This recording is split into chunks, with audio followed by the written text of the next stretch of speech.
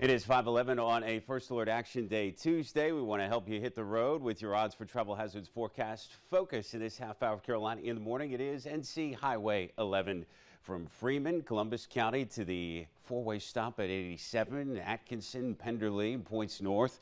A chance that you run into some rain-slickened roads as we've already have some showers blossoming on radar. They'll be scattered and winds would be light to moderate for this morning, generally increasing till we get to those gusts in the 40s, 50s miles an hour, perhaps even some 60 plus gusts as we head into the evening. So it's a process. Right now, windy enough in Ocean Isle Beach on your West Shore Home First Alert Skycam network. There's some rain in the air as well, kind of blowing in off Long Bay in the Atlantic Ocean.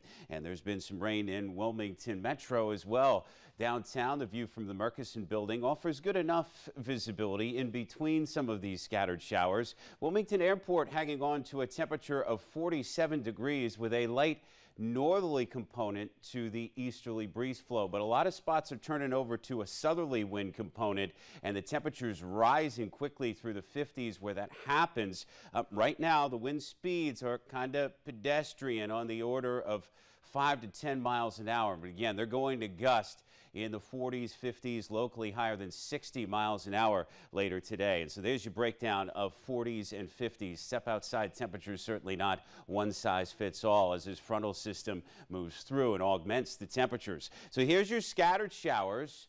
Light to moderate right now, certainly some breaks in between. If you're expecting an all day rain, don't. There's going to be some breaks because we're really on the eastern periphery of the system, especially to start. But you can see how loaded the system is to our west with some heavy thunderstorms mixing in with some of the rain. So when it's all said and done this evening, one to locally three inches of rain will have caused some ponding and localized drainage flooding.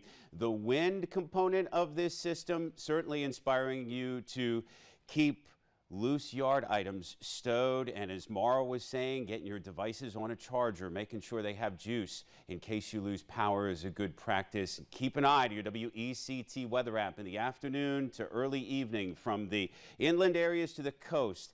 The risk window for severe rated storms damaging winds isolated spin up tornadoes it's there and of course, on the water, gales, even a storm warning for portions of our offshore waters, rough and dangerous surf and minor flooding at the evening high tide. It's all part of the narrative today. Let me take you with this sky conditions model from 11 a.m.